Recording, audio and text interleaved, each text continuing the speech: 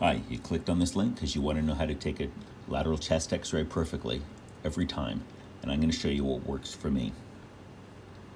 Here we are looking at a lateral chest x-ray. If you go on the assumption that the ribs need to be superimposed, then this is a correct chest x-ray. You can see the right and the left ribs only form one set of ribs. Unfortunately, sometimes our chest x-rays turn out like this. And you can tell that the ribs are not superimposed because you can see two sets there. So you're asking yourself, how can I go from there to here? And this is how you do it. First, you have to understand how the room is set up. Here's the tube, here's the central ray, and the divergent beams here. Here's the receptor.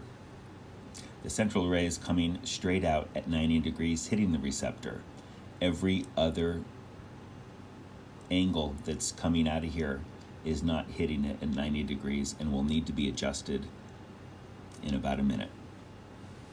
Here's our patient with the spine, back of the ribs, front of the ribs, abdomen's up in front. We line up the patient for a PA view and we want the spine and the sternum to be superimposed upon each other. And that will happen because the central ray is coming right through both of them. The divergence that's experienced on a PHS x-ray is not that important. Now you line it up for a lateral chest x-ray and you're told that you need to go exactly 90 degrees so the ribs are superimposed. So you line it up over here and if you look at the left rib and the right rib, you'll realize they both reside on the central ray and that means that when the exposure is made, the right and the left are going to be superimposed upon each other, which is good. But if you notice here, we're only using the front half of the bucky. We're not using anything in the back. And you can't do that. So you have to shoot right down the middle here and make sure that there's equal distance on each side. If you do that and you do it at 90 degrees, you will fail. And this is why. You take the imaginary line that comes from the back of the ribs and you project it all the way out and you will realize that it doesn't hit the tube. It doesn't come across to the center here. Why is that important? That's important because when the divergent beam is coming out and it's striking this rib, it's going to cast a shadow right here where that line is. Now the divergent beam comes out again and it strikes this rib, it's going to create a different shadow, which is right there. So you're dealing with the close rib and the far away rib. And that that's going to cause your soup that's going to cause your non-superimposition.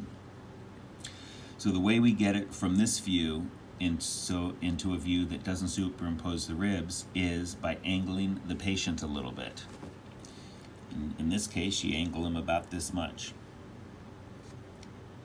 You want to have that imaginary line go straight to the center of the tube. That way when it comes out and it hits this rib, it's also going to graze this rib and cause one spot on the, on the film, which is right there. This is an example of a 90 degrees where you're going right down the center and you can see the line in the back. It's going straight out and missing the tube completely. So again, just another example, different example. Here's how you want to have it in the final in the final position, you want to have it like that. And what I'm trying to say in this picture is it doesn't matter where you position the patient, as long as the two ribs line up, you're fine. You can angle it way up there too if you wish, and you'll still get both of the rib x-rays arriving at one point. Let me show you uh, just a little brief example what I'm talking about here. So here's a glove box, the spinous process, posterior ribs. They're represented with a paper clip that's right here, and that's going to be evident in a minute because I'm going to show you the divergence with light. So if we line it up to the bucky and we put it right down the middle of the bucky and then turn the light on, we'll see that both the left and the right, we're looking at the left one now, both the left and the right paper clips line up on each other. And that's exactly what we want. We want them to line up. But we don't position the patient just on that anterior side.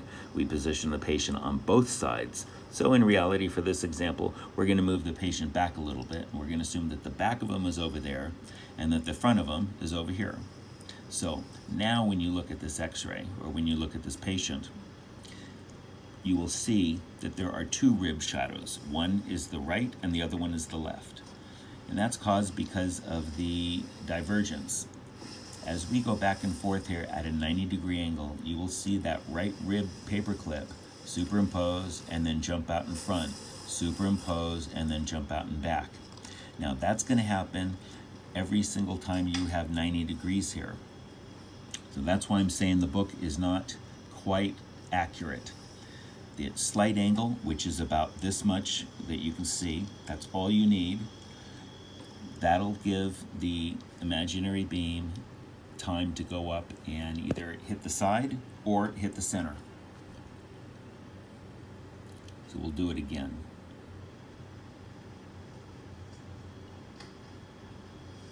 There's the light and we're moving it forward slightly so we can get some superimposition. Now it's superimposed in, in front. We're angling back, which we would never do. Superimposed again, and there you go. So this is how I do chest x-rays for my lateral view, and I think it works pretty darn well. If you think this is a good video, please leave a comment. Let me know what you think. And also, don't forget to share this if it has helped you. Thanks again, and this is how to take a lateral chest x-ray perfectly every time.